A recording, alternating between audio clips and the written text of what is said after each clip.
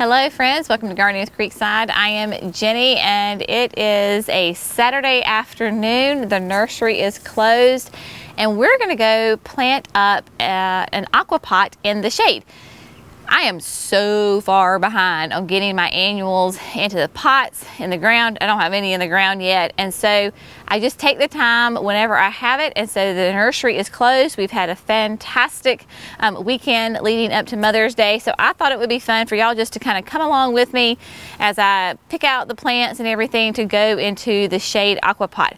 So before we do that though, I do want to show you I finally got the water trough planted. I did this on Thursday when the nursery was actually open and so it was a little slow so I was able to pot up the water trough. If you remember, gosh, this will be its third summer that we've had it here. Got an idea off of Facebook one time.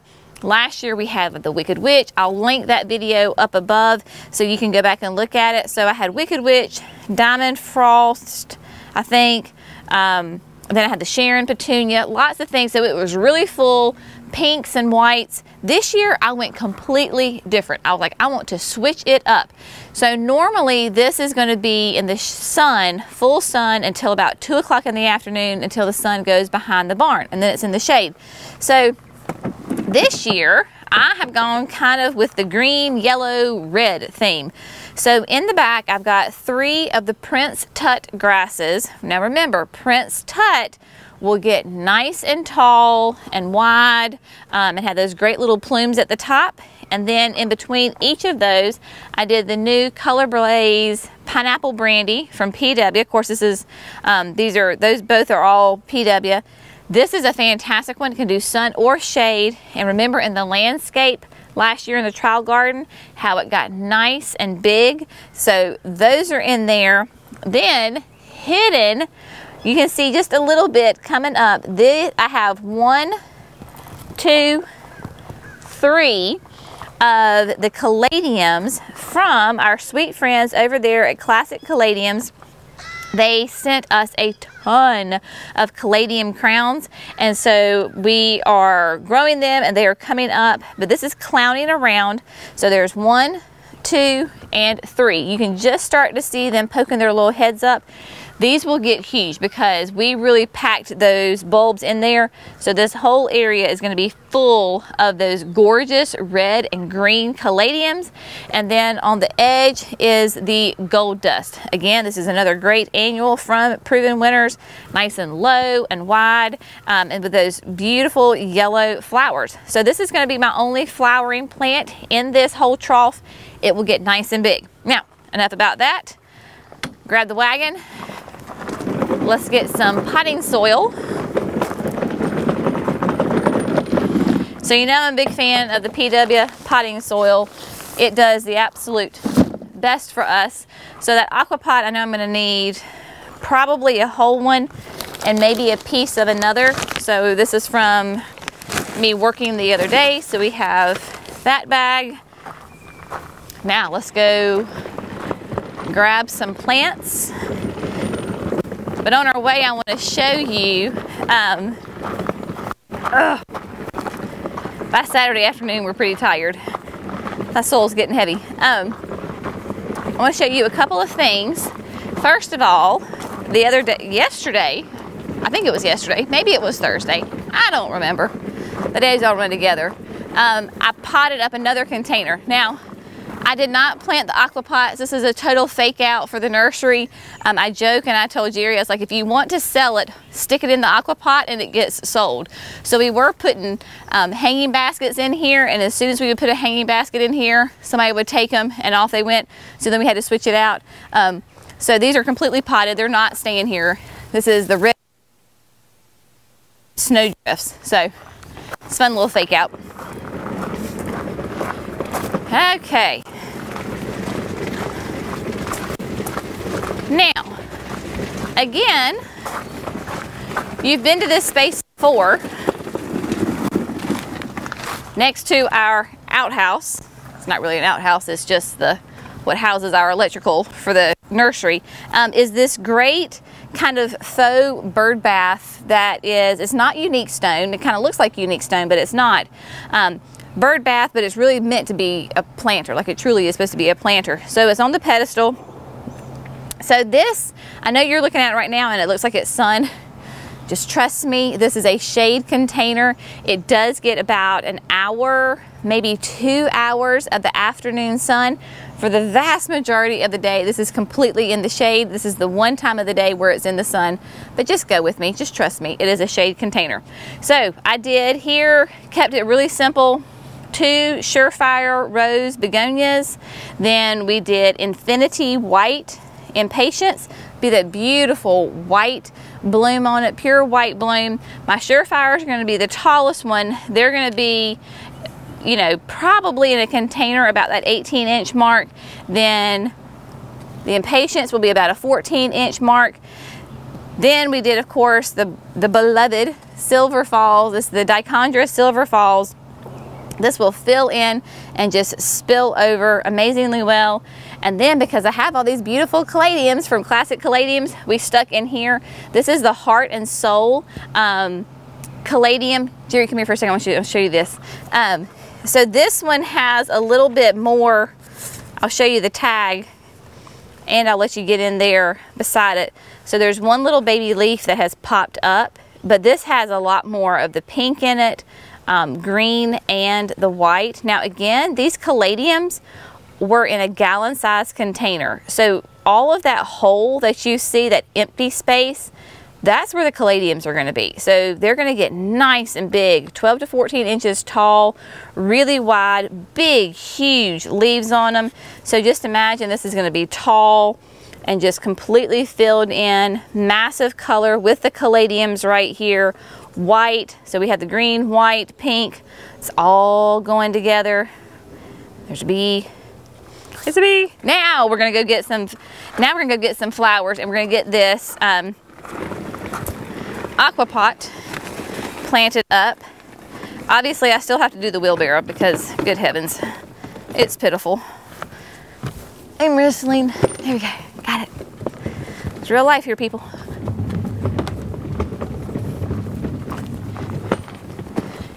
So I have thought about this. I'm trying to figure out what I want to do for this aqua pot. It is a the cobalt blue. Well, technically it's the smooth light blue pot.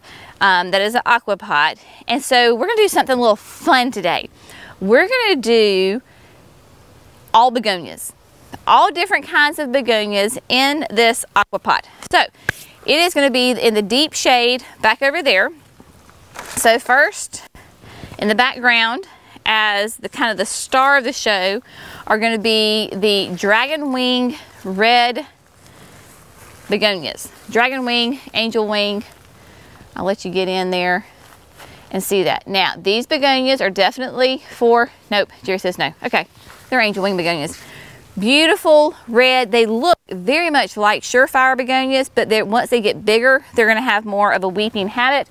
So we're gonna put, I'm going big. We're gonna put two of those in there.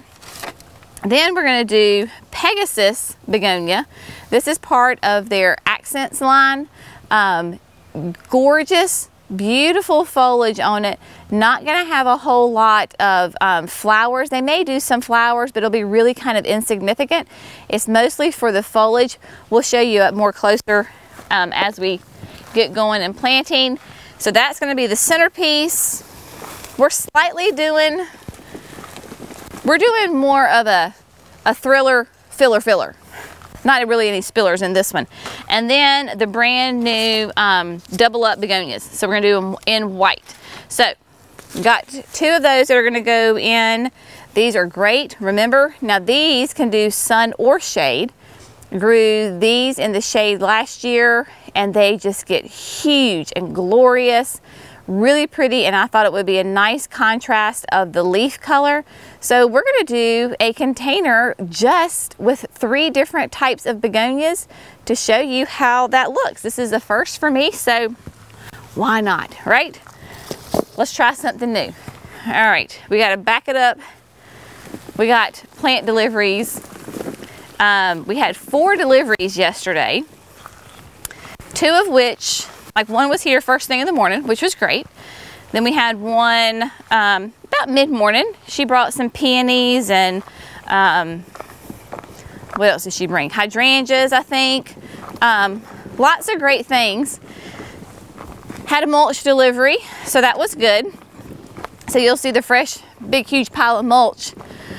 And then we got those that tropical delivery at um, 9.30. The truck showed up at 9.30 last night and he left at 10.30. So we had a very busy night. Um, so let's get to planting this aquapot. All right, so we have this great aquapot right here in within the bed that we did, I don't know, what, two months ago? Remember Jerry and Jackson and I cut down some trees, we got the mulch pile. Anyway, we created this shade bed. So when my mom and I were laying this bed out, we said, you know what, it'd be great to put the aqua pot right here because it'll bring some height and bring some annual colors. Now, for those of you maybe that don't remember what an aqua pot is or you've never heard of an aqua pot, an aqua pot is a self-watering container it's quite a genius idea. Um, Jack Barnwell designed it. Michael Carr is the artist who creates the pots and then Proven Winners is the one who markets it and distributes it. So these are aqua pots. Very simple. So it is this gorgeous ceramic glazed container, handmade in Vietnam. Um, beautiful color, but it doesn't have a drainage hole in the bottom. It has this system that fits into it. So the soil fits on here down into the soil tube and then the tube has slits in it that the water can wick up from with the soil. So you just put that down in the bottom like so and then this is your water tube. So the water tube, fill tube, water tube, whatever it's called, goes in there and then the hose just sticks in there. You fill it up. There's a little hole in the back of the pot. So when the pot gets full of water in the bottom, it squirts out and you know you're done. So there's no risk of overfilling the container, whether by you and the hose or by um, the rainwater. So you just, basically at this point, you just plant it as normal. So I have learned a trick though, is you put your soil in and you don't fill the pot all the way up. Here's my little scooper. Um, but we, we had that soil tube is to take your fist and to pack down the soil into that soil tube. That way it's nice and tight in there and it's making contact with the water that is around it. So once you've got it nice and firm in there, then you can just fill it up like normal. Um, so it may not, it may just only take this little bag right here. That's the thing, I have a hard time gauging sometimes how much soil I need to use. So I think if we had just used one brand new bag, that would have been enough. But oh well, all is well. I love using the PW soil. Um, it has enough bark in it that it's nice and aerated. It doesn't get too compacted. Um, so it stays nice and fluffy. It drains well while retaining moisture and it has the slow release already in there. There we go.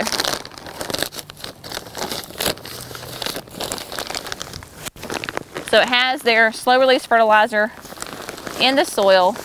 Sometimes I add a little extra, sometimes I don't. Today's one of those days where I'm not going to. So I'm going to get as much soil in here as I possibly can because the more soil, the more room that the roots can grow in. Moisture isn't obviously going to be too much of an issue here because it's a self-watering container, but you need somewhere for your roots to grow. So if you have any clumps, just break them up that's natural, especially like on like this one, a big old clump. Just break it with your hand. Um, it depends on where the bag was in the pallet. So if it's on the bottom of the pallet, then obviously it's going to be a little more um, compacted than if it was on the top of the pallet. So just break it up. All right, so my thought process here is we're going to do the two angel wings in the back. So you can already see how they're kind of have that great drape weep look to them. Now, when I plant it today, it's gonna be, obviously you're gonna see some room between the plants. That does not bother me. We have a very long growing season here in North Carolina. We're gonna put Pegasus kind of here in the middle. So I'm thinking longevity. I don't have a big event this weekend. I don't need it to look full and glorious, you know, for like right now. I like to see how they grow and develop. Then we're gonna do the double ups, basically kind of like that. So we're just gonna go for it. Um, so I've got my kind of impressions. So I like to see where they go. And then I pick one up at a time. I've got my impression right here. So I just move the soil. Normally on our annuals, like that's not really root bound. So yes, there's a lot of good roots that are grown and developed, but I would not consider that a root bound plant. So I'm not, if anything, you can just kind of come in here and just break it up like that. Just give it a little zhuzhy zhuzh. It's not necessary. Okay, a lot of times people think you've got to really break up the roots before you can put the plant in there. You're probably actually doing more harm than you are good. Just gonna get them in there. I love the um, these begonias because they're just so hardy and reliable and you really have to work hard to mess them up, which is always a good thing. Um, last year I had angel wings in a container here out in the pines and I wasn't I wasn't thinking, but it was planted underneath a bird feeder and the birds weren't the problem. It was the um, the pesky raccoons that came at night to raid the bird feeders and evidently this was a little chunky raccoon and he fell smack dab on top of the begonia broken to smithereens. I mean, they they were flattened and they had just started looking good. And when I discovered it, my mama was with me. And I was like, Mama. And she was like, Jenny, don't worry. It'll act, they'll come back. They'll look, you know, better than ever. Just give them some. Of course, Mama's always right. And so it did. So I want to show you up close. Sorry, I get distracted about planting. I want to show you the color of that Pegasus. It's a beautiful, has some silver, that blue, a little bit of a hint of a red in there. Whoop, bug. There you go. You can't be in this nursery business, this gardening business, and be too scared of bugs. So, bugs, snakes. A lot of y'all are asking about snakes. Don't have too much of a problem with snakes around here. It's all good. All right, so Pegasus is gonna go in the middle. Now Pegasus is gonna get really large. It's gonna really fill in. So in about two months or so, this whole container is just gonna be huge and full and it will last us the entire season.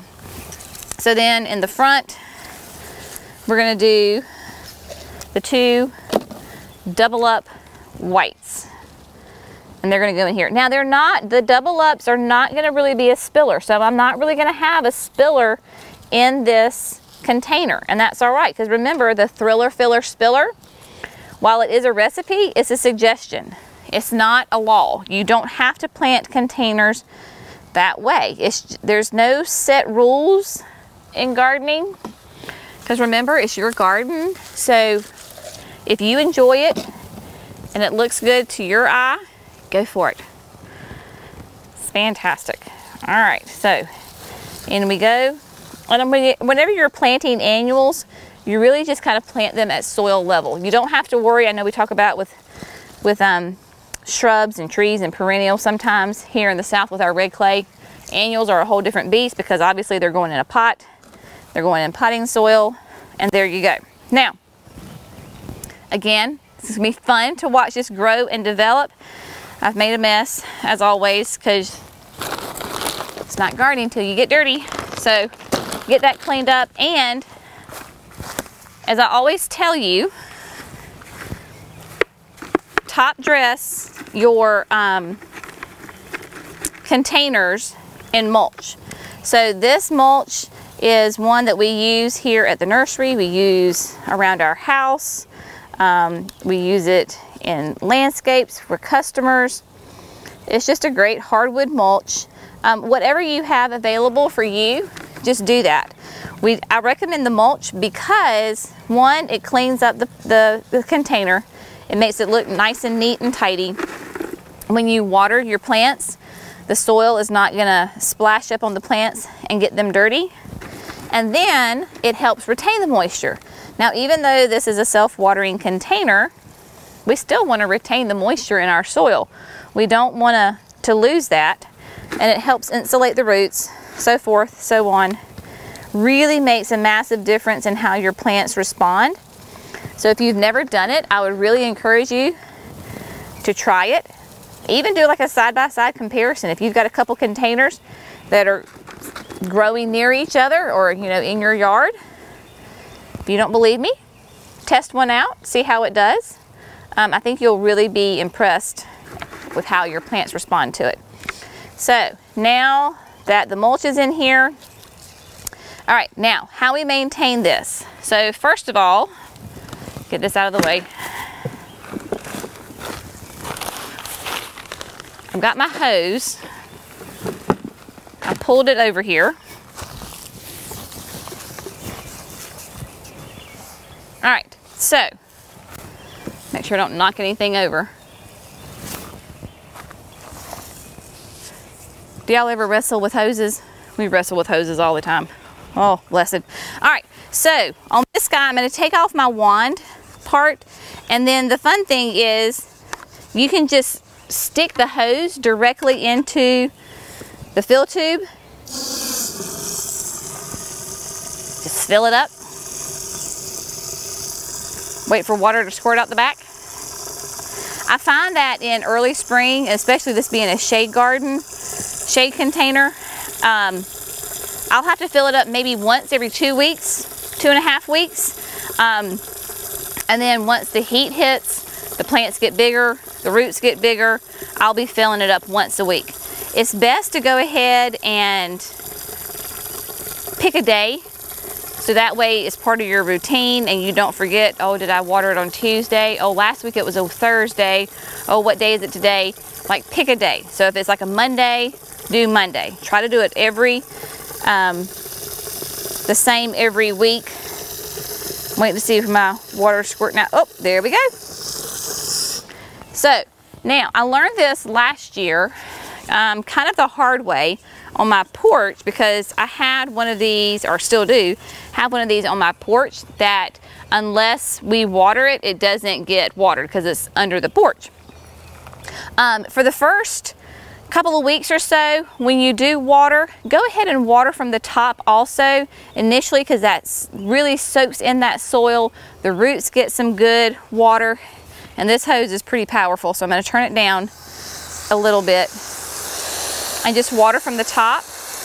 Now, this is the beautiful thing about these pots is that I don't have to worry about overfilling this because once this water reaches down to where the water reservoir is, it'll just squirt out the back. So super easy, but I'm really thoroughly soaking this, this soil so that I know that everybody's got good water. It kind of helps start the wicking process because it'll take a little while for that dry soil to really kind of begin to truly soak up all that water throughout the whole pot. So by doing this, I'm just ensuring that the soil is nice and damp and it begins the whole process.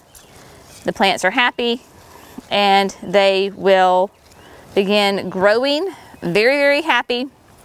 Um, I will go ahead and begin doing some liquid fertilizer on these guys once a week, once every two weeks. Um, honestly, again, get on that schedule, give them some of that good liquid water soluble fertilizer. That's really where you're gonna get some good flower power for these plants. Um, but as always, we will keep you updated on how this beautiful aquapot does over here in the shade.